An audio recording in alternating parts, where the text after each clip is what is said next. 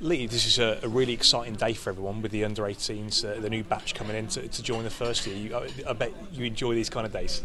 Yeah, it's um, you know it's that, that time again uh, where it's an in, induction day for for our young uh, scholars to be uh, going forward, and um, you know today we get them we get them in so we can give them a real overview of what's ahead of them for the next couple of years, uh, along with their parents, and uh, answer some of their questions.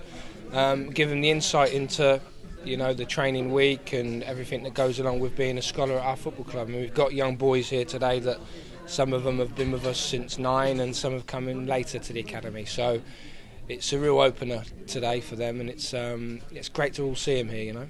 It's very um, transitional sort of uh, couple of years for them, this, in, in every respect, off, on and off the pitch. Yeah, I mean, you know, if you've got a, you're a young player that's been here since the age of nine, it's a good few years until you get to this stage. And of course, you know that, that, that's only the scholarship level, so there's a long way to go from there. So every year is a, a transition, but probably this is one of the biggest jumps when you go from under 16 football into sort of full time scholarship football. You know, where they'll be with us day in day out, and it, it becomes a job. It's their first job is in their sort of careers. You know and, it, and, it's fantastic for you as well when we see some of the examples you're able to give, and you can talk about Jordan Obita, Rob Dickie and things like that in the examples of, of the kind of pathways they, they, they can look at and say, well, we can emulate that. Yeah, we you know there's lots of players we can reference to, and we have done through the day of uh, who were sitting out in front front of us.